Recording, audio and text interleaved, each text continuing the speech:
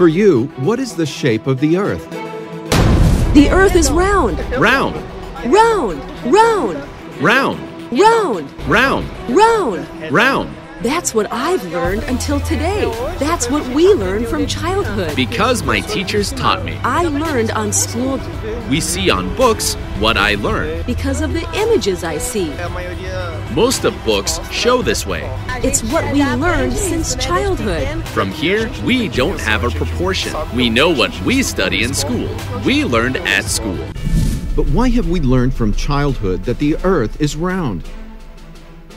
For science, the sphericity of the Earth is explained from the following evidences. First are the ships which disappear on the horizon. We go out to research, fomos fazer We went to do experiments, fomos fazer testes. to do tests, estes apontaram para justamente and they pointed just to the opposite.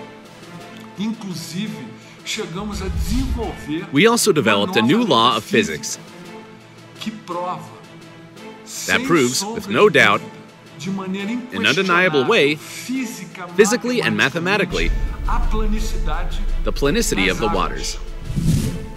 The second evidence is the projection of the Earth's shadow on the moon during a lunar eclipse.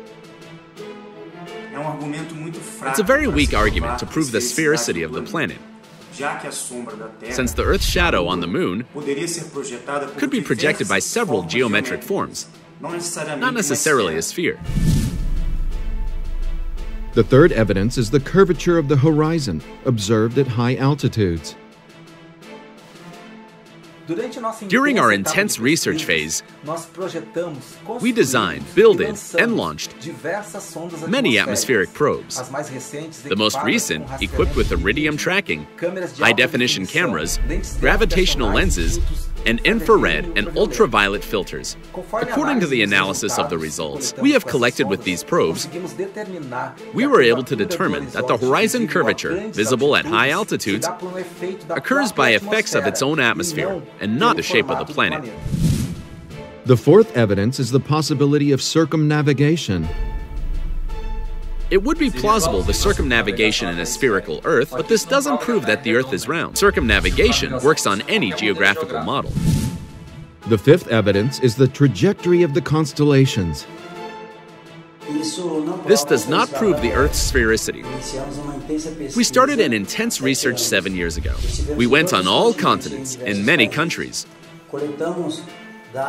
We have collected accurate data, mostly about the stars' movement. We have identified that their trajectory is different from what science says. The interesting thing is, when we analyze the information, we're able to define a new positioning of the continents and, consequently, a geographic model different than the globe we know. The sixth evidence are the photos of the Earth taken from space.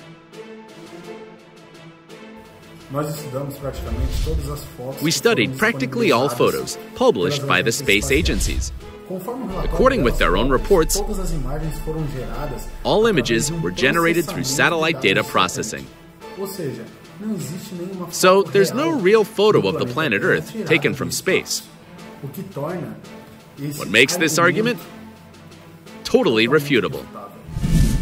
The seventh evidence is the experiment of sticks performed by Eratosthenes. Here's a uh, map of ancient Egypt.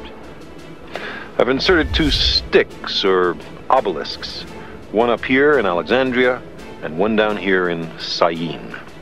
Now, if at a certain moment each stick casts no shadow, no shadow at all, that's perfectly easy to understand, provided the Earth is flat. If the shadow at Syene is at a certain length, and the shadow at Alexandria is the same length, that also makes sense on a flat Earth. But how could it be, Eratosthenes asked, that at the same instant there was no shadow at Syene and a very substantial shadow at Alexandria? The only answer was that the surface of the Earth is curved. The Eratosthenes experiment was very good for the epoch, but he should have considered the difference of time zones due to the large distance between the points, like other factors, for example, the elevation from sea level. In conclusion, it can be a proof of the continent's convexity, but not necessarily an evidence of Earth's sphericity. Academic science has assured for almost 3,000 years that the Earth is spherical. Other lines of research suggest that it may have a different form.